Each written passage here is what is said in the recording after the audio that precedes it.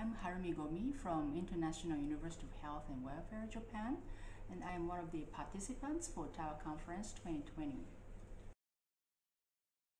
Um, this is my uh, third or fourth time to visit uh, KL, uh, Kuala Lumpur, but probably this is the best opportunity for me to um, visit here. I have been really enjoying uh, visiting here.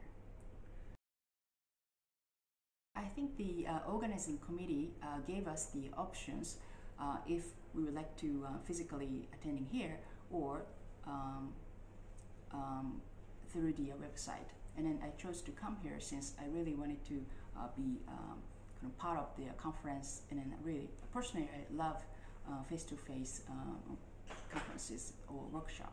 So that was the reason. And um, I think the organizing committee made um, timely uh, decision to give us an option.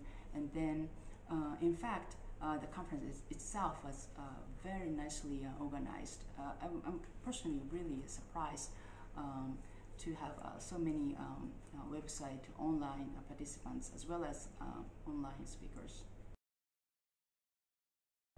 I am actually an infectious disease uh, specialist and um, I've been very impressed that uh, Malaysian government has been handling uh, patients with um, uh, COVID-19 very uh, effectively.